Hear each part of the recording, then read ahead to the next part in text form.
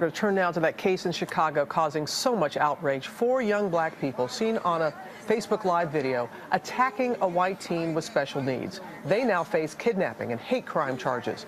ABC's Alex Perez has the latest.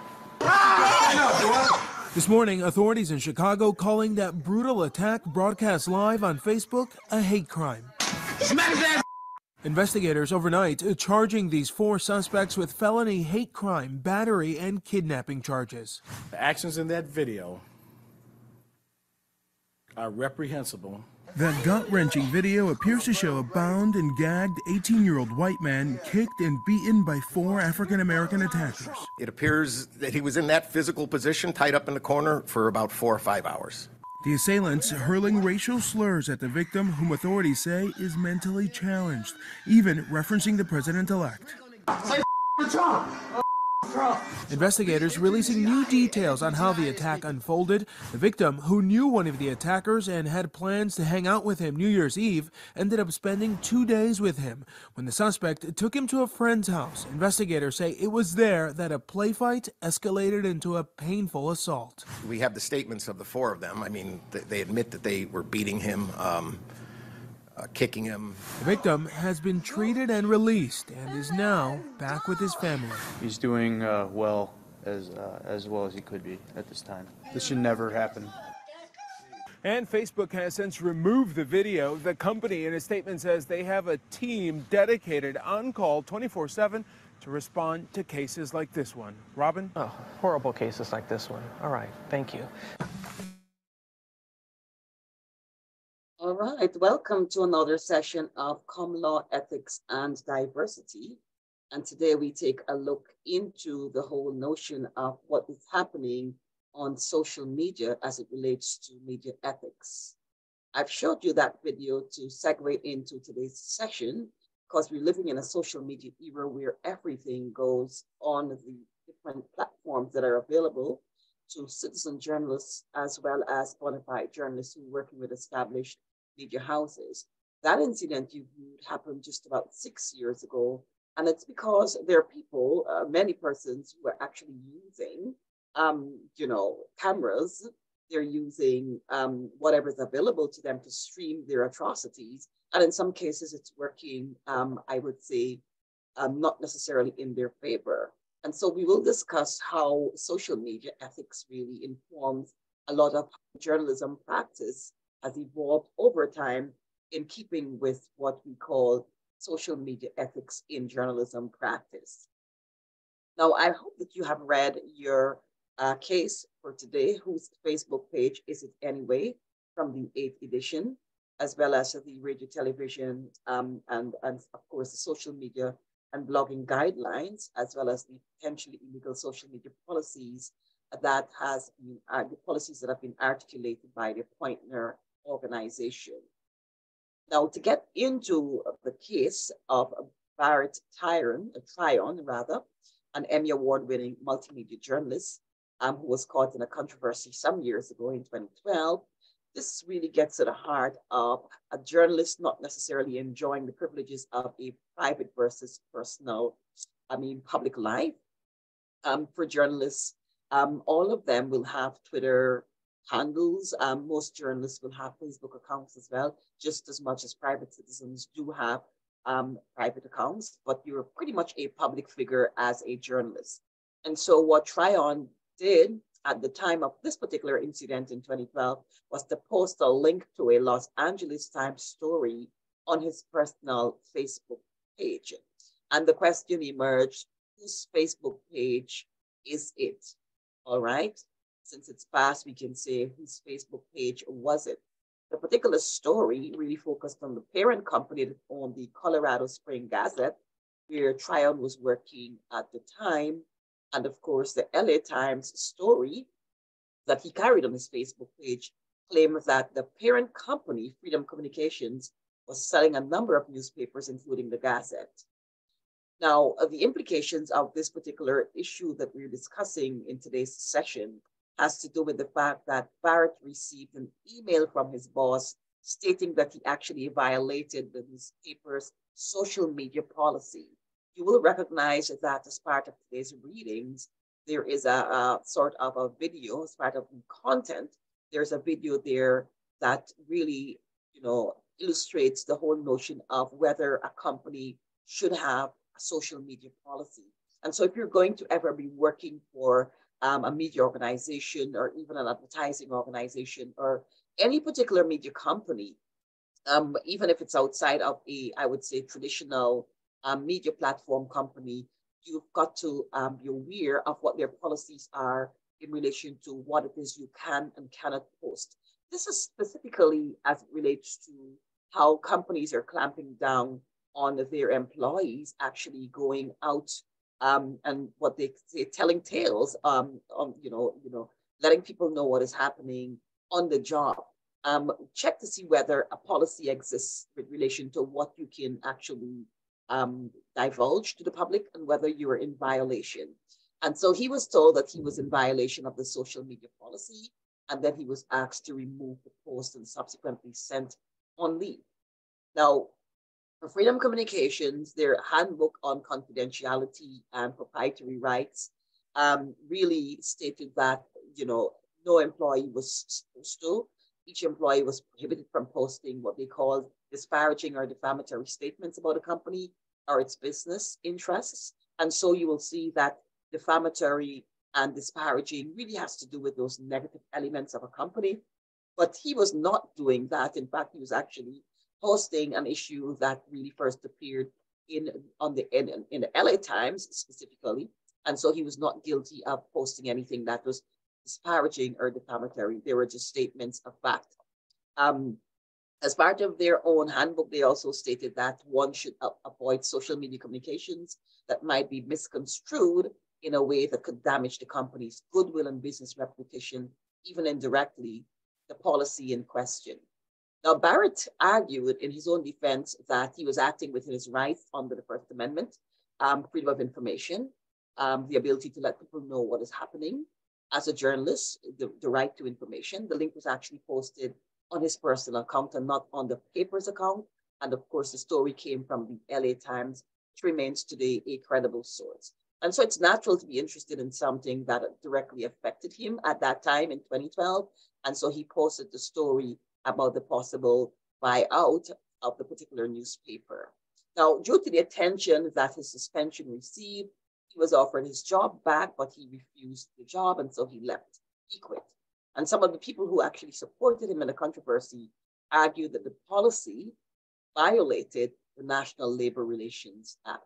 Again, it's very important to understand your rights within the realm of working for a company that prohibits any particular types of posting, especially if that posting or that particular issue that you're actually letting the public know about is not disparaging, got to be very aware of how your rights may be infringed upon in the context of what Barrett actually faced back then.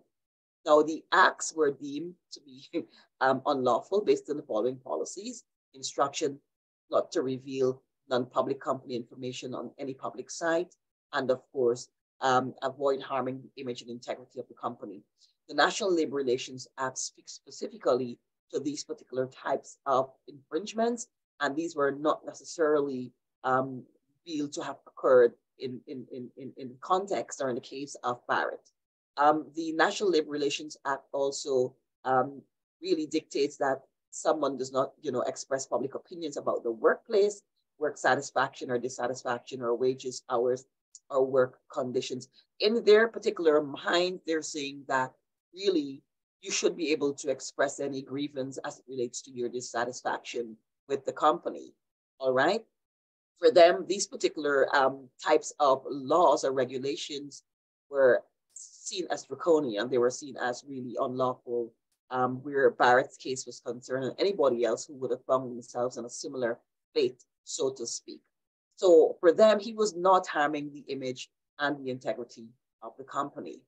Now, in Tryon's defense, no single social media policy was broken. He was merely reposting. There was no opinion because he was posting something that originally came from the LA Times. It's like you saw a story or you see a story coming to your feed and you're basically reposting it on your Facebook page or your Instagram or your Twitter. All right. And of course, no opinion was included, uh, followed by the fact that he cautioned awareness. He was cautioned about the awareness of social media policies. Now, what does the RTDNA social media and blogging guidelines say about all that is happening right now that is occurring on social media? How should persons who are working in social media be guided? Now, this goes for any of you who will be thinking through the whole notion of working on social media platforms. If you are developing your ethical code for that final assignment, this may be of interest to you in terms of what it says down the line. Truth and fairness really stands out in this particular guideline, the list of guidelines. It says here that social media comments and postings should meet the same standards of fairness, accuracy, and attribution that you apply to your on-air or digital platform in a nutshell, this basically says that you should always strive for truth, accuracy, and fairness wherever you are, whether you are usually online, live, or you, you're basically using your platform to post. All right. Um, so if somebody's coming with a live feed, there should be truthfulness and fairness and accuracy. If there's a blog, there should also be truthfulness and fairness and accuracy. And so for the full guidelines, please see this particular link at the bottom here. And it's also available in D2L for you to actually access. Now, another guideline to note is that when using content from blogs or social media, we should really be asking critical questions such as, what is the source of the video or photograph? Who wrote the comment and what was the motivation for posting it? So before you repost, you're checking to see whether there is authenticity and whether the subject, the source where the particular video photograph is coming from, uh, they are a bona fide journalist. In some cases, you may have some citizen journalists who may be up to no good. They may they may might not have used um, very legal means to get the information. In some cases, the content may lead to lawsuits um, as it relates to defamation of character. So it's very important if you're working you know, on, on blogs or social media sites that you um, just really check to see where the, the source is um, in terms of the video or the photograph, rather than just post without fact checking or double checking to see exactly what particular um, background the person has before you post that particular content. The second um, issue or uh, I would say consideration to note is question of whether the source has the legal right to the material posted. We spoke a couple of weeks ago about this whole notion of copyright infringements. And so you want to make sure that you're not infringing in any way, shape, or form in the context of reposting something that was not authorized to be used when it comes to the copyright infringement regulations that exist. Did the person take the video, um, take the photograph, or capture the video, or did they take it down from a particular site? So the origins, this, you know, it, it, this has to be very, very clear in terms of the source and the legal right to use that particular, um, I would say, content. Then we come to issues of accountability and transparency, which really is at the heart and cuts to the heart of what happens on social media platforms. You should not write anonymously or use an avatar or a username that cloaks your real identity on newsroom or personal websites. Once a journalist, always a journalist. You don't have a private life and a public life. If you are a journalist and people see you as a source that is authentic, a, a trusted source, so to speak, then you've got to maintain that trust throughout um, those particular platforms that you're using so that you remain that particular credible individual in the eyes of the public that you're serving. Um, in, in saying that, I'm saying this to say that you are responsible for every single thing you say as someone who's working um, across online platforms. And so commenting or blogging anonymously really compromises this particular core principle of accountability and transparency. You've got to maintain one single persona, not somebody by day and another person by night when it comes to really maintaining that transparency and accountability to the people that you're serving. And then another point to note is to be especially careful when you're writing, tweeting, or blogging about a topic that you or your newsroom covers. This means that editorializing is not an acceptable practice because this brings in bias or your personal feelings. So uh, there is the need to be dispassionate about whatever you're writing um, in the context of the news because it has to be purely objective based on your sourcing and of course leaving the public to come to their own conclusion. That there is the essence of really being very careful and blogging about something that your newsroom is actually covering from a dispassionate perspective. Now we come to some general questions. And if we were face to face, I would be asking you these same questions. But these are questions I'd like you to consider for this particular module. What do you think about, you know, Tryon's case? What are the competing loyalties here? We spoke a few weeks ago about, you know, uh, you know, journalists having competing loyalties, loyalties to their job, to their profession, to their editors, to the people. What do you think would have transpired in his mind as he posted that particular story? Whose actions do you consider to be more ethically defensible? Barrett or his boss who decided to send him home, teach him a lesson for a moment? From a broader perspective, do you think that social media companies try to control the personal social media postings of their employees? Absolutely. Because you were hired and you're fired sometimes on the basis of what you post there on social media. And we've seen this happening over time in recent times, in recent months, weeks, days, um, when it comes to people having privacy and posting something that they might be aggrieved over or something that might have occurred even in their personal lives Um, and they're called into question in terms of how is it that you're actually representing us and you're posting something that appears to be disparaging and this brings me to the next question should companies post their policies online or should employees post their policies online for the public to see all right so Barrett Tryon said that he had a First Amendment right to publish. Now, do you think that it's ethical in terms of his own practice based on his claim to that particular right? And finally, does the First Amendment trump professional loyalty in this particular case? Should he have been given the full right to exercise his First Amendment right rather than his professional loyalty to those persons that he was actually working for, the media company? Now, these are all the questions I have for you, but I'd like you to think through these particular questions here as you consider the case for today in terms of social media ethics and how it is that online media platforms that we're seeing now emerging across conglomerates and those particular mergers and acquisitions, how are they playing out for the journalists?